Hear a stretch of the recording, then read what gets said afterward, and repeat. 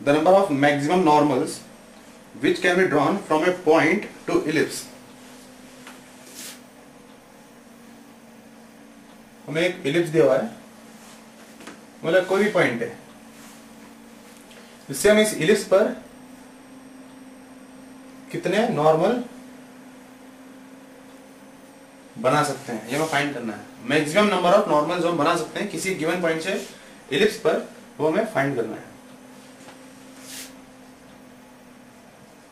हम एक standard ellipse की इक्वेशन लेंगे मान लेते हैं एक इलिप्स है इसका डायग्राम यहां पे हमने बनाया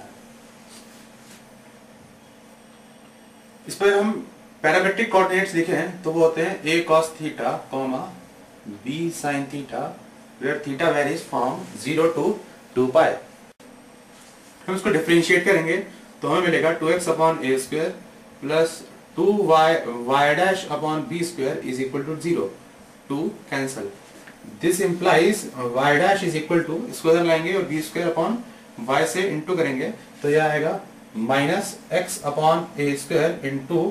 b square upon y या वाई डैश हम जानते हैं कि हमें टेंजेंट का स्लोप देता है किसी भी पॉइंट हमें नॉर्मल का स्लोप चाहिए तो क्योंकि टेंजेंट और नॉर्मल एक दूसरे से परपेंडिकुलर है और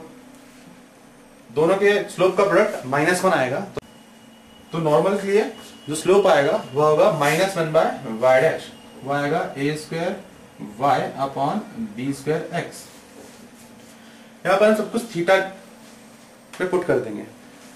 so this will become y is b sine theta x is a cos theta तो यह हो जाएगा a sine theta upon b cos theta ठीक है ए और बी कैंसिल हो जाएगा यहां से वहां पर आएगा तो हमने किसी भी पॉइंट पे इलिप्स के किसी भी पॉइंट पे इसके लिए पैरामीटर थीटा है हमने वहां पर नॉर्मल का स्लोप निकाला हम इस पॉइंट पे जहां पर नॉर्मल का स्लोप यह होता है नॉर्मल की इक्वेशन लिखेंगे वो होगी x minus a cos theta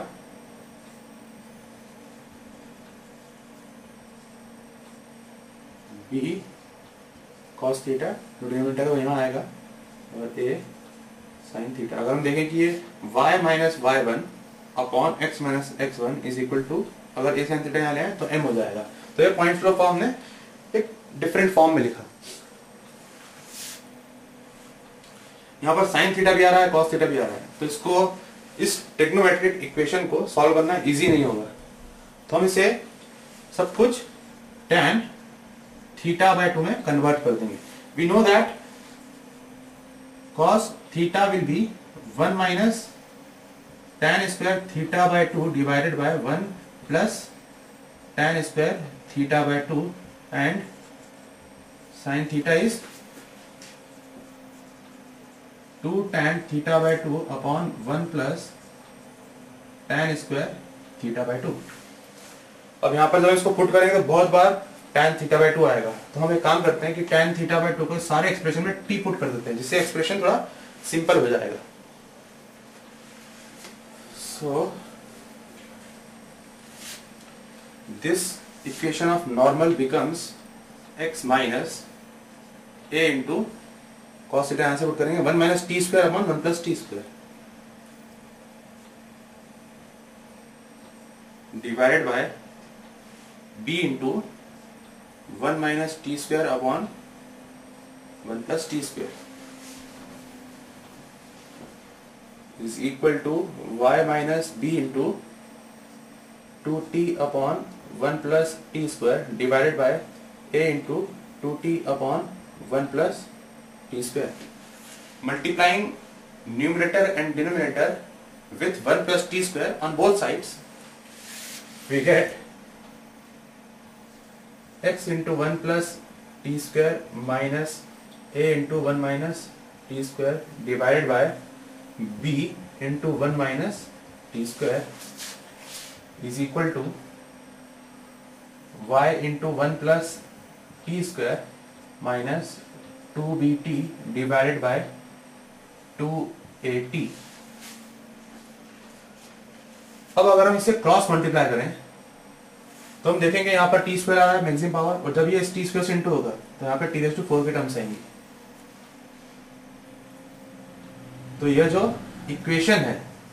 इसे जब हम सिंप्लीफाई करके अरेंज करेंगे तो फाइनली कुछ इस टाइप की इक्वेशन बन जाएगी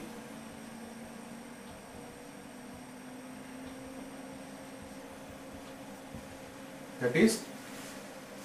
an equation of fourth degree in t or tan theta by 2 इसकी मैक्सिमम रूट्स हो सकती हैं फोर तो maximum values of tan theta by two possible are four हर उस पॉसिबल वैल्यू के लिए हमें एक थीटा मिलेगा हर उस थीटा के लिए हमें एक पॉइंट मिलेगा और उस पॉइंट पे हमें एक नॉर्मल मिलेगा तो अगर हम इस इक्वेशन में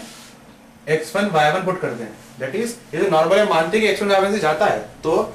मैक्सिमम चार ऐसे नॉर्मल पॉसिबल है जो हम उस एक्सटर्नल वायबल पॉइंट है उस इलिस पर खींच सकेंगे so this means maximum normal possible from a point to ellipse are four so option A is correct